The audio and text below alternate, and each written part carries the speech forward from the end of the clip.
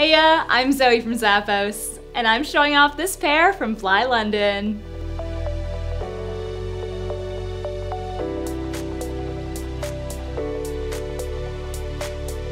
The standout feature on this shoe is definitely the platform wedge midsole. It's about an inch tall at the front and one and a half inches tall at the back.